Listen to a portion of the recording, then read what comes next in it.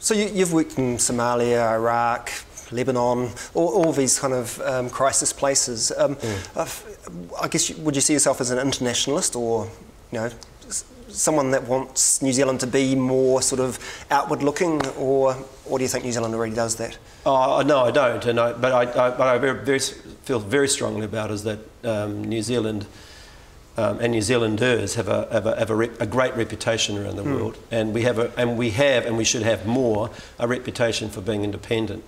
And I don't have there is absolutely no doubt in my mind that Helen Clark would not have got the job in UNDP if we had gone into Iraq, for example. Right. I mean, if we had uh, sided with that coalition. Okay. So I, I, actually think that we could be, we, we can be way more independent. It gives us more credibility. I mean, one thing that is very underplayed is, um, and, under, and I don't think um, uh, people don't appreciate quite as much as they, is, in New Zealand um, is the role of our armed forces and the way that the, the, the, job that they do. Right. If you go anywhere where New Zealand is around, I'm not talking about the SAS so much here, but I mean the armed forces, but I remember in um, Rwanda, for mm. example, when I was there, we had a C-130, and the word got around the, the UN community, um, mate, if you want to you want to get anywhere, go and see the New Zealanders. The Americans had four C-130s, we had one, and we were doing right. as much as so, and it was just that sort of, yeah, sure, we can help. I mean, what do, what do you want us to do? That, that kind of roll your sleeves up and get but on with militarily, we are still aligned with certain nations. Would you prefer that we be, uh, say, unaligned? Um, well, I, I think that, that alignment is, is, is, loosened over the mm. years, and I don't think there's any real need to, to, to go back to the old world. I mean, I think, I mean, obviously we have traditional allies that we mm. you don't, you know, don't kick sand in their face, sort of thing. But at the same time, I actually do think that we that we uh, that we have a we have a real role as a kind of an independent an independent voice. And you know, the, for example, um, I was we there was a vote on UNESCO the other mm, day and yeah. with the Palestinians, and I think we abstained. abstained yeah. And I thought, well, why why abstain? Well, I mean, this is a group of people that have been occupied yeah. since 1967. They want to join an organisation and how is that going to threaten the peace process in the Middle East? Okay. I mean, why so, can't we vote for that? So the rest of the world would have sort of, you know. So yeah, you obviously got you know, a lot of uh, background in this area. So uh, uh, this, we could talk about this for hours, but very briefly, um, what's your proposal for the for peace in the Middle East and um, Israel and Palestine? um, you're right. We could talk for hours. Yeah, um, well, do you think it should be a, a, a two-state solution or a one-state solution? What's um, well, I was there for four and a half years. Yeah. Um, I think that the, the, the, the, gap or the space for a two-state solution is running out fast. Mm. Um, you've only got three alternatives, really. You've got a two-state solution in which you have a coherent mm. Palestinian entity, um, and, that, and at the moment you have Gaza and the West Bank, mm. and, another, another, and you've got 500,000 settlers living in the West Bank alongside Palestinians. So, so surely the one-state solution is really the only thing so, on offer. So then you've got, a, you've got the other one, which is kind of the the other solution or is moving a lot of Palestinians into Jordan, which mm. you know there are, I, I, the, the, figures in in Israel are I, are quite astonishing of the number of people who actually think that would be a good idea. Wow. And then the third uh, uh, is, is, as you say, the one-state solution. And the longer we, the, the two-state solution gets pushed aside and gets compromised, as it is, and basically it's sabotaged in a way, mm. then the closer you get to a, ultimately to a one state. It's, it's not in anybody's um, kind of imagination at the moment. But then, you know, in the 1980s, South Africa, South Africa wasn't yeah. either. You know, well, the, you know, the Cold War wasn't about, the Berlin Wall wasn't about to fall down. Things happen and things change. That's right. Um, so, on this UNESCO question, so a Labour government would have voted in favour of. Well, I'm not, I'm not, I, I, can't say. I mean, if, if, it had been if it had been my recommendation, I would have said, yeah, of course, why not? Um, and you know, the, the, what was the retaliation? US cuts off seventy million dollars. The Israelis decide that they're going to build two thousand more settlements mm. in inside the occupied territory against the international law for that, you know, for you guys going into UNESCO, we're going to break international law even more than we used to uh, by building more settlements. Well, you know, I, as a result of that, I, my, my feeling about where we should have voted was even doubly um, reinforced by, by doing uh, by, by not by not, okay. not abstaining and actually voting okay. for it. What, what about on uh, foreign aid spending? Do we spend enough, and how much would Labour spend? Um, well, we, we during the Labour government, it, it edged up. Yeah, um, and still think, way below what you know the international targets are. Yeah, um, and I and I think that's what we did do, and I had a role in it was actually making our. Um, and I wouldn't have in the in the early in the early 2000s. I certainly wouldn't have necessarily advocated for a lot more spending the way that we were spending it, which was. Um, we were spending it much more wisely than we did as a result of actually professionalising our aid uh, department. Um, so I think, and we made a, a greater focus on um, the Pacific, yeah, the Pacific and Southeast Asia, and to degree some multilateral initiatives as well, which I thought was was good in sense of playing our role as well.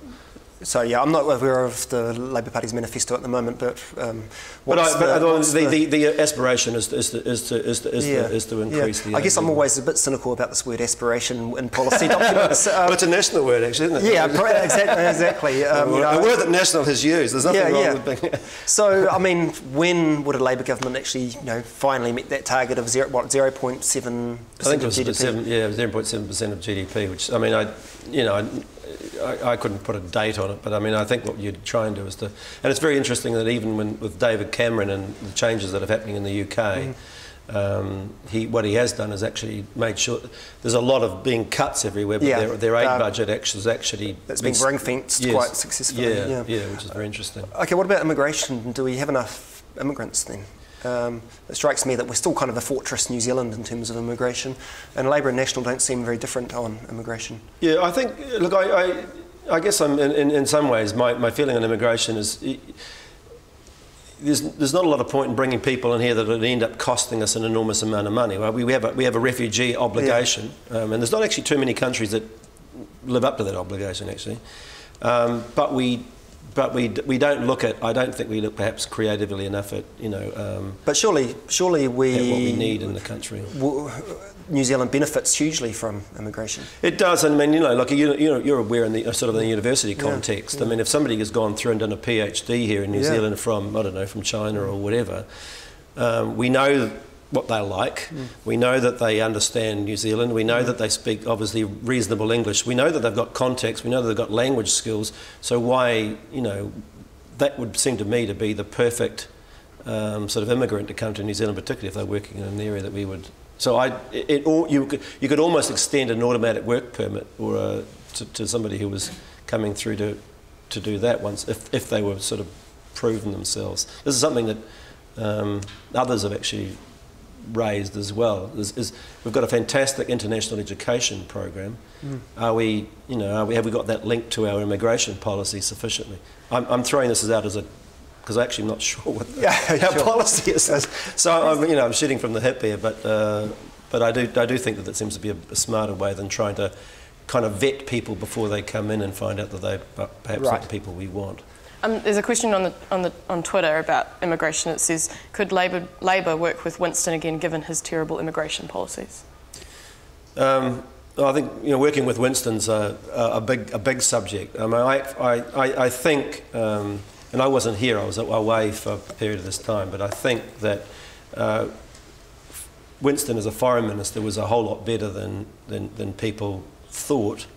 And, um, and, and actually, as, it, as it turned out, he was, he was actually had some skills, his personal skills. And, and foreign minister, so much of it is actually inter, interpersonal skills.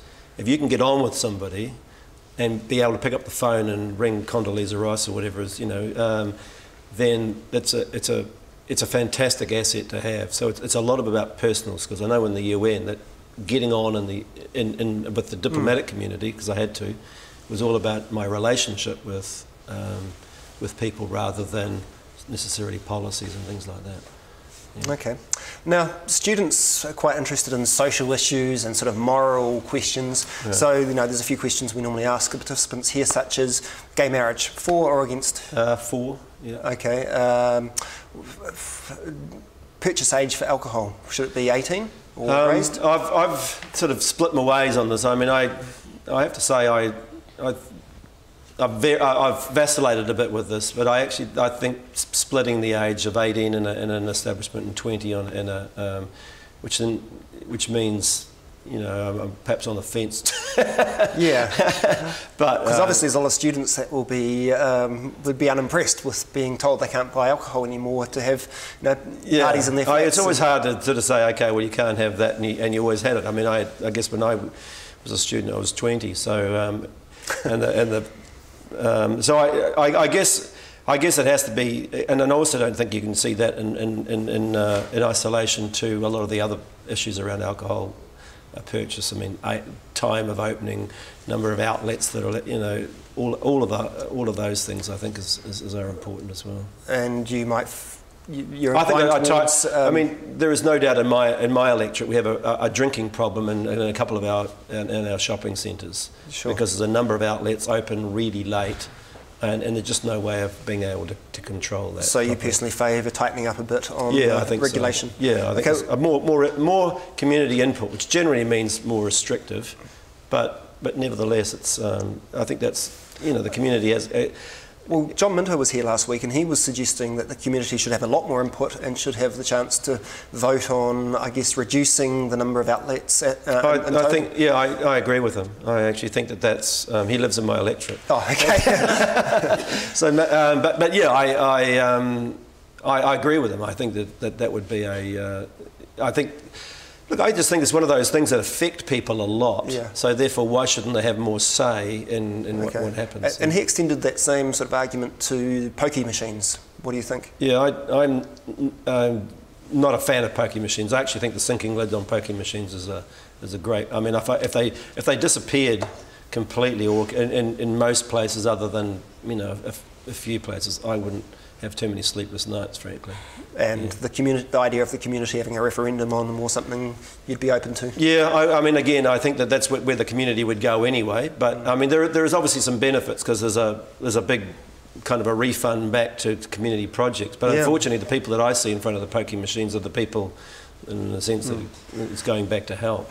But this is also dangerous territory, isn't it, for Labour, with this nanny state sort of um, uh, um, you know, term thrown around Well, that you, yeah, I- um, I guess- that you might ban something I- else or... Yeah, I, look, I, to be honest with you, I think that um, if people have the choice, then they create their own nanny state, you know. Um, so I, I, I, I like the idea of, of people having a bigger say in pokie machines or alcohol outlets and a whole bunch of different things like that. Okay. I actually think they make quite good decisions, people, generally. I mean, you know. okay. What about this upcoming election? Yeah, what about this upcoming election? Listen, whatever happens, decisions. the, the people will have spoken. And I mean, you know, this is this is old thing. Well, they, they didn't vote the right right way. Well, actually, no. That's the, the, it's like the, the voter is always right. Uh, yeah.